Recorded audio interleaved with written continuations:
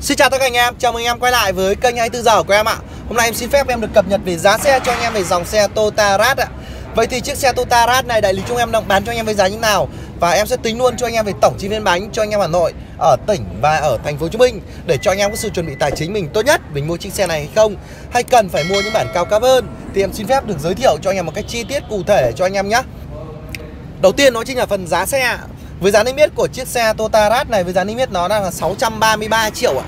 Nó sẽ là giá tính thuế cho anh em nhé Hiện tại đại lý chúng em đang bán cho anh em với giá đang là 613 triệu, Tức là giảm cho anh em là 20 triệu tiền mặt nhé Và tặng cho anh em 25 bảo hiểm tấn vỏ đấy ạ. Còn và rất nhiều chương trình khuyến mại tặng cho anh phụ kiện và rất nhiều phụ kiện khác nhau.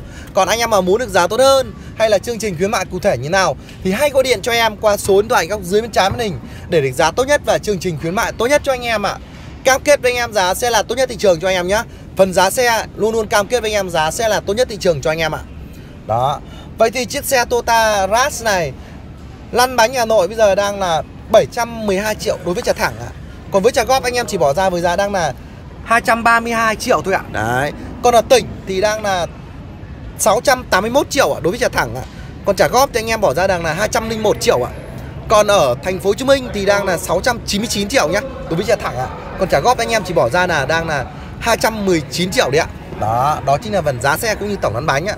Các chi phí mình đã tính vào cho anh em. Đó chính là thuế trước bạ này Biển số, đăng ký, đăng kiểm Phí bảo trì đường bộ và bảo hiểm trách nhiệm dân sự nhá.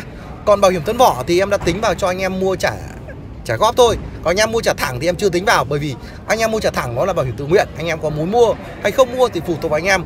Trừ khi anh em phải mua trả góp Nhưng em đã tính vào cho anh em về tổng lăn bánh đã bao gồm bảo hiểm tuấn vỏ cho anh em rồi đó. Và tại sao mà lại có sự khác biệt giữa Hà Nội ở tỉnh và ở thành phố Hồ Chí Minh? Của chiếc xe Toyota Rat này, đó chính là Hà Nội thuế ra là 12% biển số là 20 triệu ạ. Còn tỉnh thuế ra 10% biển số là 2 triệu ạ.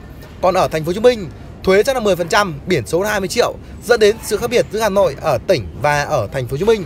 Đó là như vậy đấy ạ. Đó đó, vậy thì video này em đã giới thiệu cho anh em về phần giá xe, cũng như tổng lăn bánh một cách rất là chi tiết cụ thể cho anh em để cho anh em có sự chuẩn bị tài chính mình tốt nhất mình mua chiếc xe này không? Hay cần phải mua những bản cao cấp hơn? Thì em xin phép em sẽ dừng video ở đây. Anh em có thấy hay thì em bấm like và đăng ký kênh của em nhé. Để em sẽ cập nhật về giá xe cho anh em về toàn bộ các dòng xe của Toyota như là Toyota Vios, ờ, uh, Antis, Camry, Innova, Fortuner. Cũng như em sẽ cập nhật về giá xe cho anh em toàn bộ các dòng xe của trên thị trường Việt Nam như là Hyundai, Kia, Mazda, VinFast, Mitsubishi Nissan hay rất nhiều hãng xe trên thị trường Việt Nam cho anh em nhé. Để cho anh em cân đối chiếc xe này với chiếc xe khác Với những phân khúc này cùng với cả phân khúc khác của trên thị trường trên Việt Nam Để anh em có sự chuẩn bị tài chính mình tốt nhất. Ok vậy thì video này em xin phép em sẽ dừng video ở đây. Chúc em một ngày vui vẻ và nhiều sức khỏe. Cảm ơn anh em đã xem video này của em.